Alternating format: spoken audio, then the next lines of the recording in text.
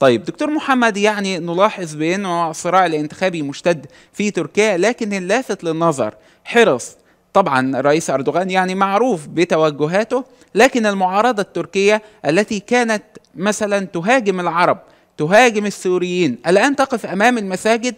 توزع مثلا الهدايا على المصلين بما فيهم من العرب والسوريين قبل هذه الانتخابات المرتقبة وهناك حرص شديد من قبل المعارضة التركية التي كانت تعد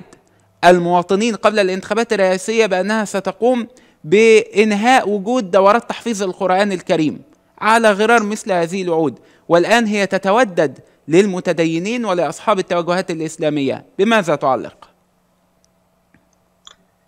آه تعليقي على هذا الأمر هو في نظري ليس خاصا بتركيا وإنما من يتابع أحوال العالم الآن فإن الأنظار متجهة إلى أن الإسلام يتقدم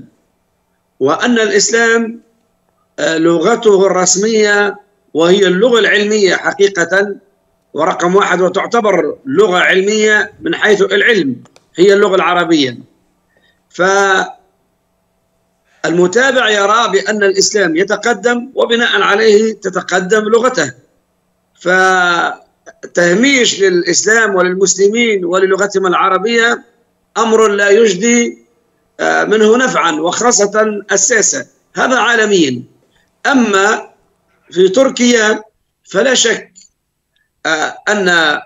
من يكون لديه عقل ويفهم الواقع فإن الإسلام عاد إلى تركيا بقوة وطالما يعود الإسلام فإن اللغة العربية تعود معه. وبناء عليه إن الاعتداء والتهميش للجنس العربي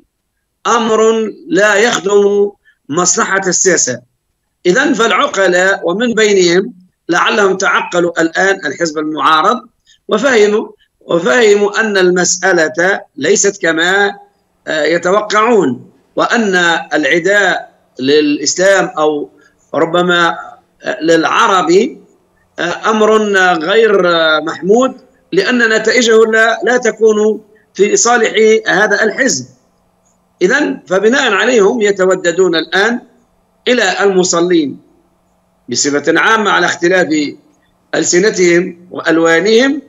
وأيضا للعرب خاصة بعد أن أعلنوا سابقا أنهم سيرحلون السوريين وأنهم لا يريدون العرب ولا يريدون اللغة العربية يبدو أنهم أدركوا أن ذلك هذا فيما يظهر خطأ فادح ولا يخدمهم في مصلحتهم والوصول إلى غايتهم.